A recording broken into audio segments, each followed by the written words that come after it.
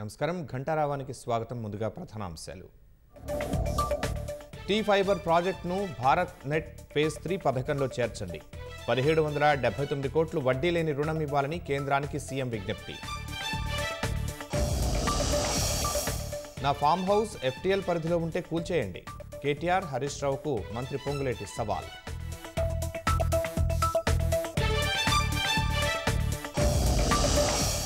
రైతులను పట్టించుకోకుండా CM Delhi యాత్రలేంటన్న BRS గాడి తప్పిన పాలనతో ఇబ్బంది పెడుతున్నారని ఆరోపణ.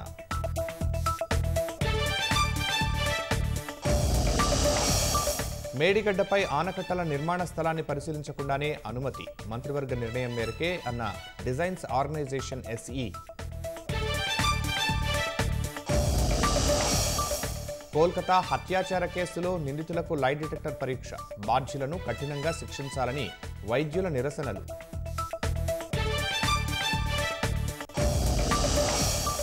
అనిల్ అంబానీపై సెబీ ఐదేళ్ళ నిషేధం. నిధుల మళ్ళింపు కేసులో ఇరవై ఐదు కోట్ల జరిమానా.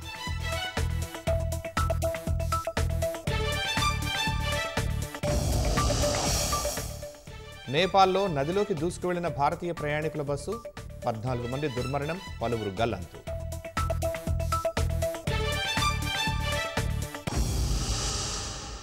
ఢిల్లీ పర్యటనలో ఉన్న ముఖ్యమంత్రి రేవంత్ రెడ్డి బృందం పలువురు కేంద్ర మంత్రులను కలిసి రాష్ట్రానికి చేయూతనివ్వాలని కోరుతోంది. ఈ మేరకు కేంద్ర టెలికాం శాఖ మంత్రి జ్యోతిరాదిత్య సింధియాను ముఖ్యమంత్రి రేవంత్ రెడ్డి ఉప ముఖ్యమంత్రి భట్టి విక్రమార్క కలిశారు. రాష్ట్రంలోని తొంభై మూడు లక్షల గృహాలకు ఫైబర్ కనెక్షన్ కల్పించాలని లక్ష్యంగా పెట్టుకున్నట్లు సింధియాకు సీఎం రేవంత్ రెడ్డి తెలియజేశారు. టీ ఫైబర్ ద్వారా ఇంటర్నెట్ కనెక్టివిటీని కల్పించడం తమ ఉద్దేశమని వివరించారు. నెలకు కేవలం మూడు రూపాయలకే ఇంటర్నెట్ కేబుల్ టీవీ ఈ ఎడ్యుకేషన్ సేవలు అందించాలని తమ ప్రభుత్వం యోచిస్తున్నట్లు కేంద్ర మంత్రి దృష్టికి తీసుకువెళ్ళారు. పదిహేడు వందల డెబ్బై తొమ్మిది కోట్ల పెట్టుబడులతో ప్రతిపాదించిన టీ ఫైబర్ ప్రాజెక్టు అమలుకు ప్రభుత్వం ఇప్పటికే ఐదు వందల ముప్పై కోట్లు సమీకరించిందని తెలిపారు. జాతీయ ఆప్టికల్ ఫైబర్ నెట్వర్క్ మొదటి దశ మౌలిక సదుపాయాలను రాష్ట్ర ప్రభుత్వానికి సకాలంలో అందించాలని కేంద్ర మంత్రి సింధియాను సీఎం కోరారు. అనంతరం కేంద్ర క్రీడా శాఖ మంత్రి మనసుకు మాండవీయతో సీఎం రేవంత్ ఉప ముఖ్యమంత్రి భట్టి జూపల్లి కృష్ణారావు భేటీ అయ్యారు. జాతీయ అంతర్జాతీయ క్రీడల నిర్వహణకు అవసరమైన మౌలిక వస్తువులు హైదరాబాద్లో ఉన్నట్లు వివరించారు. భవిష్యత్తులో Olympics Asian Games Commonwealth Games తెలంగాణలో నిర్వహించే అవకాశం కల్పించాలని విజ్ఞప్తి చేశారు. రెండు వేల ఇరవై ఐదు జనవరిలో నిర్వహించే ఖేలో ఇండియా యూత్ గేమ్స్ ఆతిథ్యం ఇచ్చే అవకాశం హైదరాబాద్కి ఇవ్వాలని కేంద్ర మంత్రిని ముఖ్యమంత్రి రేవంత్ రెడ్డి కోరారు. ప్రభుత్వం ఏర్పాటైన వంద రోజుల్లోనే ఐదు గ్యారంటీలు అమలు చేసిన ఘనత ప్రజాప్రభుత్వానికే దక్కుతుందని మంత్రి పొంగులేటి శ్రీనివాసరెడ్డి తెలిపారు. గత ప్రభుత్వం ప్రచార ఆర్భాటం తప్ప చేతలు లేవని ఆక్షేపించారు. Himayat Sagar FTL buffer zone పరిధిలో తన ఇల్లు ఉంటే నిస్సందేహంగా కూల్చేయొచ్చంటూ మాజీ మంత్రులు కేటీఆర్ హరీష్ రావుకు సవాల్ విసిరారు. కబ్జాల భరతం పట్టడానికే హైడ్రా తెచ్చామని పొంగులేటి శ్రీనివాసరెడ్డి స్పష్టం చేశారు. హైదరాబాద్ శివార్లో హైడ్రా చేపట్టిన అక్రమ కట్టడాల కూల్చివేత అంశం రాష్ట్రంలో రాజకీయ కాకరేపుతోంది. ఎఫ్టీఎల్ బఫర్ జోన్ పరిధిలో అక్రమ కట్టడాలను కూల్చే మంచి ఉద్దేశంతో హైడ్రా ఏర్పాటు చేశామని రెవెన్యూ మంత్రి పొంగులెట్టి శ్రీనివాసరెడ్డి వివరించారు. హిమాయత్ సాగర్ ఎఫ్టీఎల్ పరిధిలో మంత్రి శ్రీనివాసరెడ్డి నివాసం ఉందంటూ మాజీ మంత్రి కేటీఆర్ చేసిన ఆరోపణలపై రెవెన్యూ శాఖ మంత్రి పొంగులేటి తీవ్రస్థాయిలో మండిపడ్డారు. కేవలం రాజకీయ లబ్ధి కోసమే తనపై బురద జల్లే ప్రయత్నం చేస్తున్నారంటూ ఆగ్రహం వ్యక్తం చేశారు.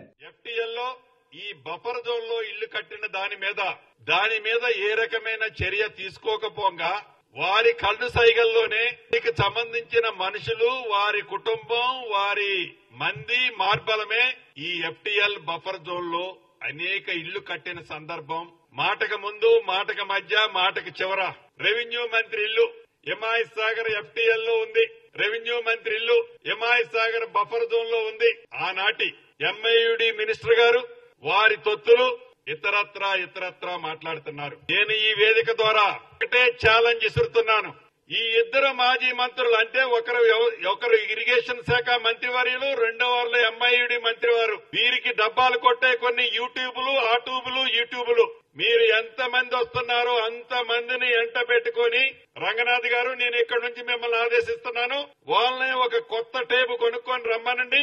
నా ఇల్లు ఎఫ్టీఎల్లో ఉన్న బఫర్ జోన్లో ఉన్న చివరికి ఒక ఇటుక పెట్ట ఉన్నా ఎమ్మటే పడగొట్టండి. ఇల్లు మొత్తం దాంట్లో ఉంటే ఇల్లు మొత్తం పడగొట్టండి. This is my challenge Ponguleti challenge మీరే టేప్ పెట్టుకొలుచుకోండి మీ చావు తెలివితేటలు మీ చవక బారు మాటలేందో కొలిసిన తర్వాత మీ తల ఎక్కడ పెట్టుకోవాలో మీరే నిర్ణయించుకోండి. డేట్ ఎప్పుడో మీరు కమ్యూనికేట్ చేయండి.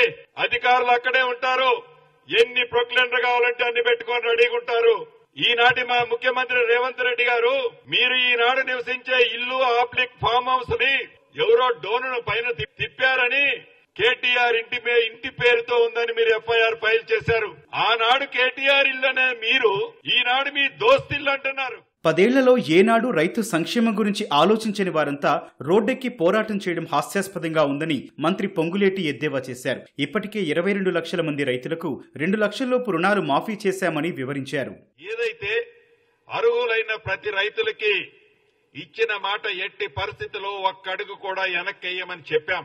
ఇంకా సుమారు పన్నెండు నుంచి పన్నెండు వేల మూడు వందల కోట్ల వరకు రుణమాఫీ చేయాల్సిన అవసరం ఉంది. శనగలు దీని చేతులు దులుపుకున్నట్లు. ఏదో మేము పద్దెనిమిది వేల కోట్లు చేశాం మా దగ్గర ఆర్థిక పరిస్థితి బాగాలేదు టాటా బై బై అని చెప్పటంలా. ఎన్నికల కోసం మేము ఈ రుణమాఫీ చేయటంలా. ధర్నాలు నిరారదీక్షలు చేస్తున్నారో వాళ్ళ చిత్తశుద్ధి ఏమిటో రెండు పర్యాయాలు పది సంవత్సరాలు చూశాం. మా కేబినెట్ గట్ట శుద్ధి సన్నాయి లేదట. మీరన్నదాన్ని నేను ఒకటి ఒప్పుకుంటున్నాను. చేసింది కూడా సరిగ్గా చెప్పుకోలేకుండా ఈనాడు మేము ఉన్నాం మీలాగా మాటలు చెప్పాం. చేతనైతే పనులు చేస్తాం. రైతు రుణమాఫీకి అర్హత కలిగిన ప్రతి రైతుకు రుణమాఫీ చేసి తీరతామని ఎవరూ ఆందోళన చెందాల్సిన అవసరం లేదని మంత్రి పొంగులేటి భరోసా ఇచ్చారు. సాంకేతిక కారణాలతో ఇంకా పన్నెండు వేల కోట్లు మాఫీ చేయాల్సి ఉందని రెండు లక్షలకు పైగా రుణం ఉన్నవారు అదనపు మొత్తం చెల్లిస్తే మాఫీ అవుతుందని మంత్రి చెప్పారు. రైతు రుణమాఫీపై వ్యవసాయ శాఖ మంత్రి తుమ్మల నాగేశ్వరరావు ఆరా తీశారు. క్షేత్రస్థాయిలో సమస్యలు పరిష్కరించే దిశగా చేపట్టిన చర్యలపై అధికారులతో సమీక్షించిన మంత్రి సాంకేతిక కారణాలతో రుణమాఫీ కాలేదన్న రైతుల ఆందోళనపై స్పందించారు. ఇప్పటికే రెండు లక్షల రూపాయల లోపు కుటుంబ నిర్ధారణ జరిగిన కుటుంబాలన్నింటికీ రుణమాఫీ చేశామని స్పష్టం చేశారు. రెండు లక్షలలోపు రుణాలు సంబంధించి కుటుంబ నిర్ధారణ లేని నాలుగు లక్షల ఇరవై నాలుగు వేల ఎనిమిది వందల డెబ్బై మూడు బ్యాంకు ఖాతాదారుల సమాచారం సేకరించేందుకు వీలుగా కొత్త యాప్ తెచ్చినట్లు తెలిపారు. వ్యవసాయ అధికారులు స్వయంగా రైతుల ఇళ్ళకు వెళ్ళి లేదా రైతు వేదికలు కార్యాలయాల్లో అందుబాటులో ఉండి రైతుల నుంచి ఫిర్యాదులు స్వీకరిస్తున్నారని చెప్పారు. ఆధార్ వివరాలు తప్పుగా నమోదైన లక్ష ఇరవై నాలుగు వేల ఐదు వందల నలభై ఐదు ఖాతాల్లో ఇప్పటికే నలభై ఒక్క వేల మూడు వందల ఇరవై రెండు ఖాతాలు సరిచేసినట్లు తుమ్మల పేర్కొన్నారు. రైతుల రుణమాఫీపై ప్రభుత్వం శ్వేతపత్రం విడుదల చేయాలని భాజపా శాసనసభ పక్ష నేత ఏలేటి మహేశ్వరరెడ్డి డిమాండ్ చేశారు. నిర్మల్లోని ఆర్డీఓ కార్యాలయం ఎదుట కాంగ్రెస్ రుణమాఫీపై మోసం చేసిందంటూ భాజపా ఆధ్వర్యంలో రైతు ధర్నా చేపట్టారు. రాష్ట్రంలో అరవై లక్షల మంది రైతులు రుణమాఫీకి అర్హత ఉంటే కేవలం ఇరవై రెండు లక్షల మందికి మాత్రమే రుణమాఫీ చేయటం విడ్డూరంగా ఉందన్నారు. నలభై తొమ్మిది వేల కోట్లు రుణమాఫీకి ఇవ్వాల్సి ఉండగా పదిహేడు వేల కోట్లు మాత్రమే రుణమాఫీ చేశారన్నారు. దేవుళ్ళపై ఒట్లు పెట్టి రుణమాఫీ చేశామని మాట తప్పిన ముఖ్యమంత్రి కారణంగా రాష్ట్రానికి అరిష్టం జరిగిందని రాష్ట్రానికి అరిష్టం పోవాలని ప్రతి గుడిలో పూజలు చేస్తామన్నారు. రైతులందరికీ రుణమాఫీ అయ్యే వరకు రైతుల పక్షాన నిలబడి పోరాటం చేస్తామని ఏలేటి మహేశ్వరరెడ్డి తెలిపారు. సహజ మంత్రులు చెప్తా ఉన్నారు. సహచర మంత్రి తుమ్మల నాగేశ్వరరావు గారు చెప్పారు సగం మందికి మాత్రమే మరి రుణమాఫీ జరిగిందని చెప్పి. అదే మాదిరిగా రెవెన్యూ మంత్రి పొంగులేటి శ్రీనివాస్ రెడ్డి గారు చెప్పారు ఇంకా పన్నెండు వేల కోట్ల రూపాయలు అవసరం ఉన్నది రుణమాఫీ రుణమాఫీకని అంటే మీ సహచర మంత్రులే ఒకవైపు. రుణమాఫీ జరగలేదని ఇంకా పన్నెండు వేల కోట్ల రూపాయలు అవసరమని ఇంకా సగం మందికి రుణమాఫీ జరగలేదని మీ సహచర మంత్రులు చెప్తా ఉంటే ఇంకా మీరు ఒకవైపు రుణమాఫీ జరిగిందని అబద్ధం చెప్పడం మీరు ఏ దేవుళ్ళ మీద అయితే ఒట్టు పెట్టారో ఆ దేవుళ్ళను కూడా మీరు మోసం చే- చేసినట్టుగానే మేము భావిస్తున్నాం. ఈ నెల ముప్పై ముప్పై ఒకటి తారీఖు లోపల మీరు చేయకుంటే ఈ నెలాఖరులో ఈ రాష్ట్ర బీజేపీ నాయకుడిగా నేను నిరవధిక నిరాహార దీక్షను హైదరాబాద్లో చేపట్టబోతున్నానని కూడా తెలియజేస్తా ఉన్నాను. రాష్ట్రంలో శాంతి భద్రతలు అదుపు తప్పుతున్నాయని బీఆర్ఎస్ కార్యనిర్వాహక అధ్యక్షుడు కేటీఆర్ ఆరోపించారు. బీఆర్ఎస్ నేతలతో నిన్న తిరుమలగిరి ఘటనపై డీజీపీ జితేందర్ని కలిసి కేటీఆర్ ఫిర్యాదు చేశారు. బీఆర్ఎస్ ధర్నా శిబిరంపై కాంగ్రెస్ కార్యకర్తలు దాడి చేశారని ధర్నా శిబిరాన్ని పోలీసులే తొలగించారని ఆగ్రహం వ్యక్తం చేశారు. కొంతకాలంగా పోలీసులు అత్యుత్సాహం ప్రదర్శిస్తున్నారని ప్రతిపక్ష నేతలపై అక్రమ కేసులు పెట్టి వేధిస్తున్నారని కేటీఆర్ ధ్వజమెత్తారు. ఎవడు అబ్బసొత్తు కాదు. ప్రజాస్వామ్యంలో అధికారం మారుతూనే ఉంటది. వ్యవస్థ మాత్రం అట్లే ఉంటుంది. దయచేసి గౌరవ డీజీపీ గారికి మేము ఏదైతే విజ్ఞప్తి చేశామో తిరుమలగిరి సంఘటన విషయంలో స్థానిక పోలీసుల మీద కూడా యాక్షన్ తీసుకోవాలా? ఎవరైతే హత్యాయత్నం చేసిండ్రో వాళ్ళ మీద త్రీ నాట్ సెవెన్ కేసు పెట్టాలి. కాంగ్రెస్ గుండాలను ఖచ్చితంగా అదుపులోకి తీసుకోవాలని విజ్ఞప్తి చేస్తా ఉన్నాం. అదేవిధంగా ఇద్దరు జర్నలిస్టుల మీద ఏ దాడైతే ఇవాళ చేయడం జరిగిందో నిన్న కొండారెడ్డి పల్లిలో ముఖ్యమంత్రి గారి సొంత ఊళ్ళో దానికి తప్పకుండా ముఖ్యమంత్రి క్షమాపణ చెప్పడమే కాకుండా దాడి చేసిన గుండాలను వెంటనే అరెస్ట్ చేయాలని చెప్పి కూడా మేము డిమాండ్ చేస్తా ఉన్నాం. హైదరాబాద్ తూర్పు ప్రాంతంలో త్వరలో భారీ పరిశ్రమలు రాబోతున్నాయని ఐటీ శాఖ మంత్రి శ్రీధర్బాబు పేర్కొన్నారు. హైదరాబాద్ నాగోల్ మెట్రో సమీపంలో హైదరాబాద్ క్రెడాయ్ ఆధ్వర్యంలో ఏర్పాటు చేసిన ప్రాపర్టీ షోను మంత్రి ప్రారంభించారు.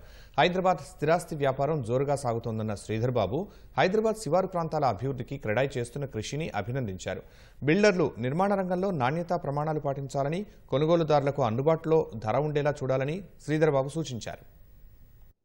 హైదరాబాద్ నలువైపులా కూడా అభివృద్ధి చేయాలి. ఆలోచన దృక్పథంతో మా ప్రభుత్వం ఒక ప్రణాళిక సిద్ధం చేసుకొని ముందుకెళ్తాం ఈస్ట్ ఆఫ్ హైదరాబాద్లో కూడా మా ఐటీ రంగానికి సంబంధించి సాఫ్ట్వేర్ టెక్నాలజీ పార్క్ను ఏర్పాటు చేయడం జరుగుతుందని రాష్ట్ర ప్రభుత్వం తరఫున ముఖ్యమంత్రి గారి తరఫున చేయడం జరిగింది. డెన్సిటీ ఆఫ్ పాపులేషన్ని దృష్టిలో పెట్టుకొని కన్వెన్షన్ సెంటర్స్ను కూడా ఏర్పాటు చేసే ప్రక్రియలో వారు ఇచ్చిన ఆలోచన ముఖ్యమంత్రి గారి దృష్టికి తీసుకెళ్ళి దాన్ని కూడా శాంక్షన్ చేయించే ప్రయత్నం చేస్తామని కూడా మనం భవిష్యత్ అవసరాలను దృష్టిలో ఉంచుకుని కొత్త ఆర్ఓఆర్ చట్టంలో నిబంధనలు పొందుపరుస్తున్నట్లు ధరణి కమిటీ సభ్యులు సునీల్ తెలిపారు. మహబూబాబాద్ కలెక్టరేట్ కొత్త ఆర్ఓఆర్ ముసాయిదా బిల్లుపై జరిగిన చర్చా కార్యక్రమానికి హాజరైన సునీల్ కొత్తగా తీసుకొచ్చే చట్టంలో వ్యవసాయ భూములతో పాటు ఆబాది ఇంటి స్థలాలకు చెందిన అన్ని వివరాలు ఉంటాయని చెప్పారు. ఎమ్మెల్యే అధికారులు రైతులు రైతు సంఘం నేతల సందేహాలను నివృత్తి చేశారు. ధరణిలో నమోదు కాకుండా పద్దెనిమిది లక్షల ఎకరాల భూమి ఉందన్న సునీల్ కొత్త చట్టం అమల్లోకి వస్తే అవన్నీ రికార్డుల్లోకి ఎక్కుతాయని తప్పులు సరిచేసుకోవచ్చని మరోసారి భూ రికార్డుల ప్రక్షాళన చేసుకునేందుకు అవకాశం ఉంటుందని వివరించారు. భవిష్యత్తుకు ఉపయోగపడే నియమాలు వెంట వెంటనే అమలు కావడానికి కొంత టైం పడుతుంది. అది భూదార్ కార్డు కావచ్చు భూముల సర్వే కావచ్చు లేకపోతే భూదార్ నంబర్ ఇవ్వటం కావచ్చు ఆవాది భూముల సర్వే కావచ్చు ఇవన్నీ కూడా రాబోయే రోజుల్లో వచ్చే మార్పులను దృష్టిలో పెట్టుకున్న నియమాలు. ఇంకొక రెండు కీలక విషయాలు చట్టంలో ఉన్నాయి. ఒకటి భూదారు రెండవది ఆవాది భూముల సర్వే. ఇప్పుడు ఏదైతే సర్వే నెంబర్ ఉందో సర్వే నెంబర్ స్థానంలో భూదార్ నెంబర్ వస్తుంది. పాస్ పుస్తకాలకు అదనంగా ఒక భూదార్ కార్డు వస్తుంది. ఎందుకు తీసుకొస్తున్నామంటే నలభై శాతం భూములు తెలంగాణలో రికార్డ్కి మ్యాప్కి మ్యాచ్ కావట్లేదు. మనిషికి ఆధార్ ఎట్లుంటుందో ప్రతి కమతానికి ఒక భూదార్ నంబర్ ఇవ్వాలని కేంద్రం చెబుతుంది. ఈ చట్టం ద్వారా అలా నెంబర్ ఇచ్చే అవకాశం ఉంది. ప్రతి కమతానికి ఒక భూదార్ నెంబర్ వస్తుంది. ప్రతి యజమానికి ఒక భూదార్ కార్డు వస్తుంది. ఆయనకి నాలుగైదు కమతాలు ఉంటే నాలుగైదు భూదార్ నెంబర్లు ఉంటాయి. అవన్నీ కలుపుకొని ఒక కార్డు ఇస్తారు. తెలంగాణలో దాదాపుగా పన్నెండు వేల రెవెన్యూ గ్రామాలు ఉన్నాయి. ఈ ఆబాది భూములకు మనం ఎప్పుడు సర్వేనే చేయలేదు. దానికి రికార్డ్ అయితే ప్రాపర్గా లేదు. నిన్న మొన్నటి వరకు రిజిస్ట్రేషన్ల మీద కూడా ఇబ్బంది ఉంటుండే. దాని మీద హైకోర్టు చాలా తీర్పులు కూడా ఇచ్చింది. ముఖ్యమంత్రి రేవంత్ రెడ్డి చెలో ఢిల్లీ కాదు చెలో పల్లె చేపట్టాలని భారత కార్యనిర్వాహక అధ్యక్షుడు కేటీఆర్ విమర్శించారు. రుణమాఫీ కాక లక్షలాది రైతులు ఇబ్బంది పడుతూ ఉంటే వారి వైపు కన్నెత్తి చూడకుండా హస్తినయాత్రలు చేస్తున్నారా అని కేటీఆర్ ప్రశ్నించారు. ఎనిమిది నెలల్లో ఏకంగా ఇరవై సార్లు ఢిల్లీ చుట్టూ చక్కర్లు కొట్టారన్న కేటీఆర్ రిమోట్ కంట్రోల్ పాలనతో రైతులను బలి చేస్తారా అని వ్యాఖ్యానించారు. ఎన్నికల్లో గాలి మాటలు చెప్పి గద్దెనెక్కగానే గాలి మోటార్లలో ఊరేగుతున్నారని ఆరోపించారు. సీఎం ఢిల్లీ యాత్రలతో ప్రజలకు ఒరిగిన ప్రయోజనం ఏమిటని కేటీఆర్ ప్రశ్నించారు. అధిష్టానం మెప్పు కోసం తప్పన తప్ప అన్నం పెట్టే రైతుల తిప్పల గురించి ఆలోచించే తీరిక లేదా అని ఆక్షేపించారు. గాడి తప్పిన పాలనతో రాష్ట్రం మొత్తం ఇబ్బంది పడుతున్న విపత్కర పరిస్థితుల్లో సీఎం మంత్రులు ఉండాల్సింది ఢిల్లీలో కాదు తెలంగాణ గల్లీల్లో అని వ్యాఖ్యానించారు. రాష్ట్రాన్ని గాలి కుదిలేసి అన్నదాతలను అరిగోసపెట్టి హైకమాండ్ ఆశస్సుల కోసం ప్రతిక్షణం పాకులాడితే తెలంగాణ సమాజమే ఏదో రోజు కుర్చీ లాగేయడం తథ్యమని కేటీఆర్ పేర్కొన్నారు. మేడిగడ్డ ఆనకట్ట నిర్మాణంలో సీకెంట్ పైల్స్కు వెళ్ళాలని ఎన్ఐటి వరంగల్ సిఫార్సుల మేరకు అప్పటి కాళేశ్వరం సీఈ చెప్పారని central designs organisation SC Fazal తెలిపారు. కాళేశ్వరం కమిషన్ ముందు హాజరైన ఫజల్ను జస్టిస్ పీసీ ఘోష్ ప్రశ్నించారు. గతంలో దాఖలు చేసిన అఫిడవిట్ ఆధారంగా అడిగిన ప్రశ్నలకు ఫజల్ సమాధానాలు తెలిపారు. కాళేశ్వరం సీఈ నివేదిక ఆధారంగానే ఆనకట్టల నిర్మాణ స్థలాన్ని పరిశీలించకుండానే క్రాస్ సెక్షన్స్ ఆమోదించినట్లు ఫజల్ పేర్కొన్నారు. సుందిళ్ళ ఆనకట్ట రెండో బ్లాక్ ఏలో అదనంగా చేపట్టిన ఆరు వెంట్లు డిజైన్ డిజైన్స్లో మొదట లేవని ఆ తర్వాత చేర్చినట్లు తెలిపారు. మంత్రివర్గ నిర్ణయం మేరకే అదనపు వెంట్ల నిర్మాణం జరిగిందని పేర్కొన్నారు. జస్టిస్ పీసీ ఘోష్ కమిషన్ ముందు సీడీఓ విశ్రాంత ఈఎన్సీ నరేందర్ రెడ్డి రెండవ రోజు కూడా హాజరయ్యారు. నిన్నటి విచారణ కొనసాగింపుగా రెండు లేఖలను ఆయన కమిషన్కు అందించారు. మూడు వందల పదిహేడు జీవోతో పాటు ఇతర సమస్యలు పరిష్కరించాలని రాష్ట్ర ప్రభుత్వ ఉద్యోగ సంఘాల ఐకాస సర్కార్ను కోరింది. హైదరాబాద్ నాంపల్లిలో సమావేశమైన ఐకాస నాలుగు డిఏలతో పాటు ఐదో డిఏను విడుదల చేయాలని కోరారు. వెంటనే పెండింగ్ బిల్లులు విడుదల చేసి సిపిఎస్ను రద్దు చేయాలన్నారు. సిపిఎస్ తీసుకొచ్చిన సెప్టెంబర్ ఒకటిన చీకటి రోజుగా ప్రకటిస్తామన్నారు. వెంటనే ప్రభుత్వం తమ సమస్యలకు పరిష్కారం చూపాలని విజ్ఞప్తి చేశారు. తమ డిమాండ్లపై సీఎం రేవంత్ రెడ్డిని త్వరలో కలిసి తదుపరి కార్యాచరణ ప్రకటిస్తామని స్పష్టం చేశారు. కోల్కతాలో జూనియర్ డాక్టర్పై జరిగిన హత్యాచార ఘటనపై ముమ్మరంగా దర్యాప్తు కొనసాగుతోంది. సీబీఐ కస్టడీ ముగియడంతో ప్రధాన నిందితుడు సంజయ్ రాయ్కు స్థానిక కోర్టు పద్నాలుగు రోజుల జ్యుడిషియల్ రిమాండ్ విధించింది. మరోవైపు సుప్రీంకోర్టు సూచించినా కూడా జూనియర్ డాక్టర్లు శాంతించడం లేదు. తమ డిమాండ్లు నెరవేరే వరకు పోరాటం ఆగదని తేల్చి చెబుతున్నారు. ఫలితంగా బెంగాల్లో ఆసుపత్రులు రోగుల్లేక బోసిపోతున్నాయి. కోల్కతా మెడికో హత్యాచారం కేసులో ప్రధాన నిందితుడు సంజయ్ రాయ్కు ప్రత్యేక న్యాయస్థానం పద్నాలుగు రోజుల జుడిషియల్ కస్టడీ విధించింది. కస్టడీ ముగియడంతో సీబీఐ అధికారులు నిందితుడిని భారీ భద్రత మధ్య సీల్దా సివిల్ అండ్ క్రిమినల్ కోర్టులో హాజరుపరిచారు. న్యాయస్థానం సంజయ్ రాయ్కు పద్నాలుగు రోజుల జుడిషియల్ కస్టడీ విధించడంతో పోలీసులు నిందితుడిని జైలుకు తరలించారు. అలాగే నిందితుడు సంజయ్ రాయ్ ఆర్జీకార్ వైద్య కళాశాల మాజీ ప్రిన్సిపల్ సందీప్ ఘోష్కు పాలిగ్రాఫ్ పరీక్షలు జరిపేందుకు ప్రత్యేక కోర్టు అనుమతి మంజూరు చేసింది.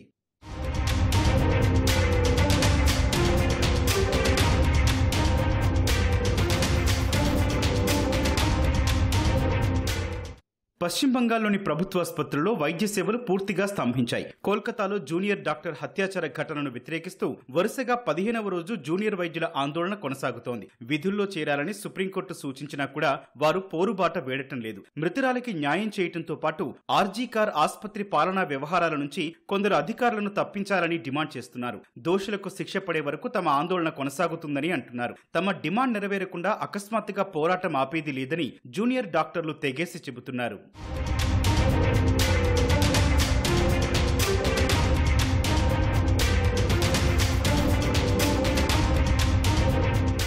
ఆందోళన విరమించి విధుల్లో చేరాలని సుప్రీంకోర్టు గురువారం మరోసారి జూనియర్ డాక్టర్లకు సూచించింది. వారిపై ఎలాంటి చర్యలు తీసుకోరాదని ప్రభుత్వానికి ఆదేశాలు జారీ చేసింది. వైద్యులు న్యాయమూర్తుల సేవలు జీవితం స్వేచ్ఛ వంటి అంశాలతో ముడిపడి ఉన్నందున వారు సమ్మె చేయరాదని అత్యున్నత న్యాయస్థానం తేల్చి చెప్పింది. జూనియర్ డాక్టర్లు విధులను బహిష్కరించడంతో బంగాల్లో ప్రభుత్వాసుపత్రులు బోసిపోయాయి. సీనియర్ డాక్టర్లు అవుట్ పేషెంట్ విభాగాలతో పాటు అత్యవసర యూనిట్లకు హాజరైనా కూడా గత రెండు రోజుల నుంచి రోగులు కనిపించడం లేదని సంబంధిత వర్గాలు అంటున్నాయి. జూనియర్ వైద్యులు ఆందోళన చేస్తున్నారని తెలియటమే అందుకు కారణమని కోల్కతాలోని మరో ఆసుపత్రి వర్గాలు పేర్కొన్నాయి.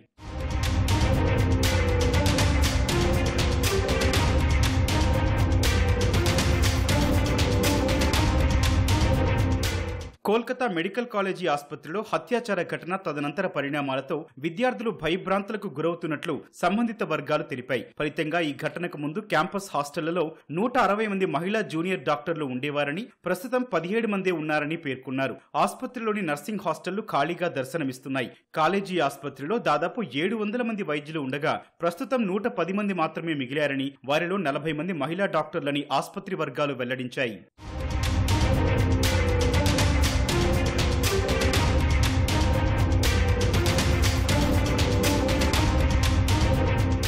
హత్యాచార ఘటన అనంతరం దర్యాప్తు జరుగుతోన్న సమయంలో ఈ నెల పద్నాలుగవ తేదీన కొందరు విధ్వంసకారులు కర్రలు ఇటుకలు రాడ్లతో ఆసుపత్రిలోని అత్యవసర విభాగం నర్సింగ్ స్టేషన్ మందుల దుకాణం అవుట్ పేషెంట్ విభాగాలతో పాటు సీసీటీవీలను ధ్వంసం చేశారు. దీంతో వైద్య విద్యార్థులు ముఖ్యంగా మహిళా విద్యార్థుల్లో భయాందోళనలు నెలకొన్నాయి. నేపాల్లో ఘోర ప్రమాదం చోటు చేసుకుంది. భారత పర్యాటకులతో ప్రయాణిస్తున్న ఓ బస్సు నదిలోకి దూసుకు వెళ్ళింది తనాహున్ జిల్లాలో ఈ ఘటన చోటు చేసుకుంది. ప్రమాదం సమయంలో బస్సులో నలభై మంది ప్రయాణికులు ఉన్నారు. వీరంతా భారతీయులే. వీరిలో పద్నాలుగు మంది మృతి చెందారు. పదహారు మందికి గాయాలయ్యాయి. ఉత్తరప్రదేశ్ నంబర్ ప్లేట్తో ఉన్న ఓ ట్రావెల్స్ బస్సు నేపాల్లోని పొఖారా నుంచి కాఠ్మండు వెళుతుండగా ఈ దుర్ఘటన చోటు చేసుకుంది. కొండల ప్రాంతాల్లో అదుపు తప్పి బస్సు నదిలో పడిపోయింది. సమాచారం అందుకున్న సిబ్బంది అక్కడికి చేరుకుని సహాయక చర్యలు చేపట్టారు. ప్రయాణికుల్లో ఇప్పటివరకు పదహారు మందిని కాపాడగా మరో పద్నాలుగు మృతదేహాలను గుర్తించినట్లు స్థానిక మీడియా వెల్లడించింది. గల్లంతైన వారి కోసం సహాయక చర్యలు కొనసాగుతూ ఉన్నాయి. ఏడాది జూన్లోనూ నేపాల్లో ఇలాంటి దుర్ఘటన చోటు చేసుకుంది. వర్షాల కారణంగా కొండ చర్యలు విరిగిపడడంతో రెండు బస్సులు నదిలో పడిపోయాయి. ఈ ఘటనలో ఏడుగురు భారతీయులు సహా అరవై మందికి పైగా ప్రయాణికులు గల్లంతయ్యారు.